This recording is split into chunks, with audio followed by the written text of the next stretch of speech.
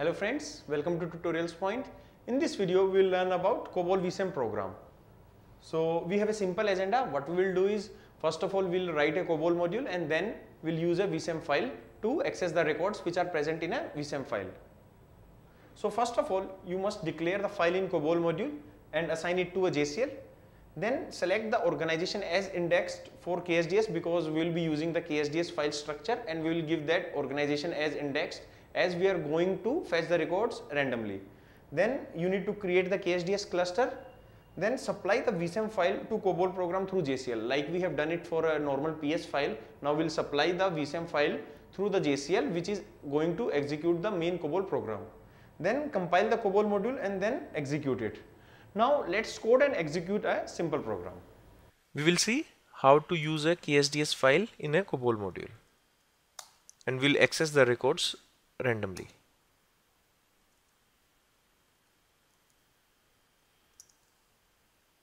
So we, we have one COBOL module which we have used for accessing the record sequentially. Now I've changed it.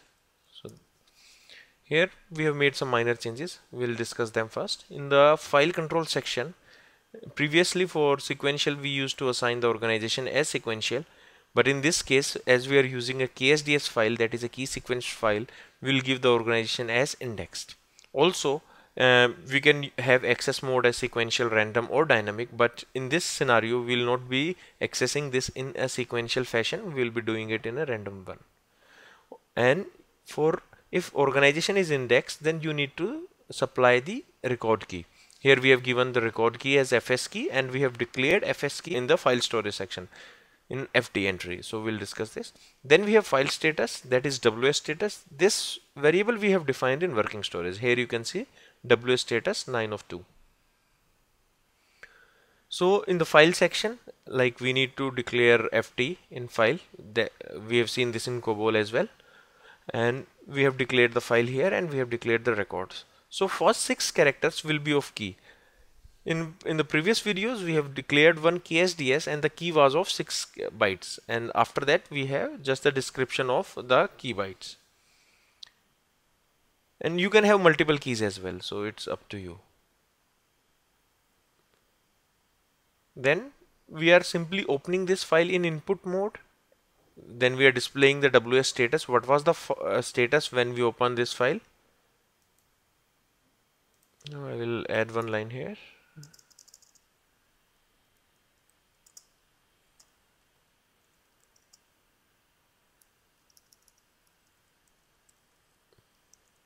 accessing KSDS file. So this message will be printed. Now we are opening this file in input mode. Then we are displaying the status. What is the status? What is the return code while opening this? If you get any error while opening this input file, you will you can see through WS status. So you will get the code, Google it, and you can find what's the reason why this failed. So the uh, code should be 00. If the code is 00, it means it's a success. Now what we are doing is in the file we are moving 1004 to fs key and we are accessing it randomly. So we haven't done any perform loop.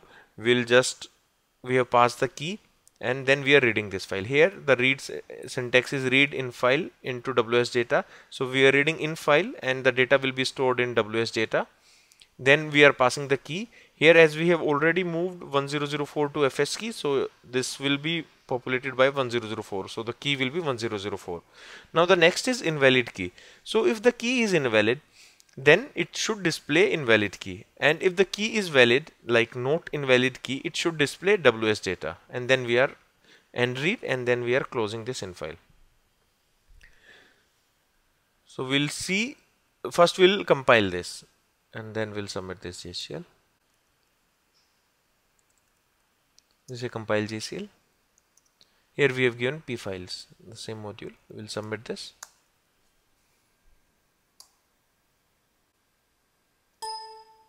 Here you can see condition code 0. Now first we'll check what's there in the KSDS file. Like we have already moved data in KSDS, we'll open this KSDS in Ditto and then we'll see like what is the data, what should be displayed in the uh, spool.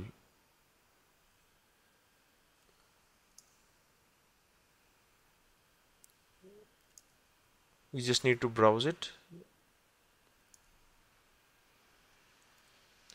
tutorial dot point dot ksds here you can see these are our keys 100123 so it should display 1004 and this is fourth record.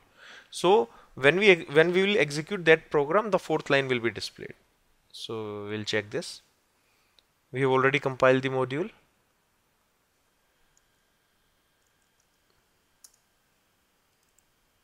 now we'll submit the JCL to execute this program. Compilation and linked edit is done. Here you can see the load is tutorial.point.load we'll change this file. Now here we have given the input file dd input tutorial.point.ksds and this file we will be using in the COBOL module using this dd input this we have discussed in JCL as well as in COBOL. So we'll submit this and we'll see the output in spool. Here you can see MAXCC is 0 so it's success. Now we'll go to spool and check what's the result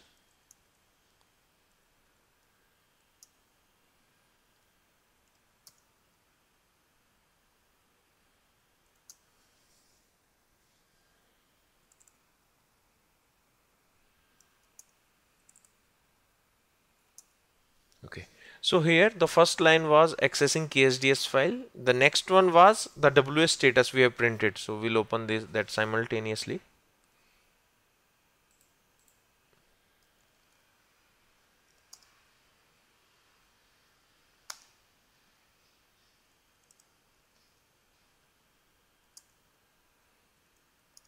So here this was accessing KSDS file. Then we are displaying WS status what is the status while opening the ws input file? It is 00 that means it's success. Then we are reading this. So if key is not invalid like it's valid key then just show the data ws data. So here we can see this 1004 this is fourth record. So it is displaying the fourth data. Similarly you can perform other operations as well on the file. Like uh, if you want to update this record instead of displaying you can perform other paras as well.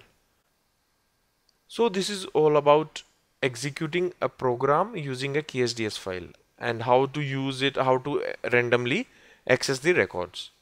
So in the next videos, we'll see some basic VSAM commands.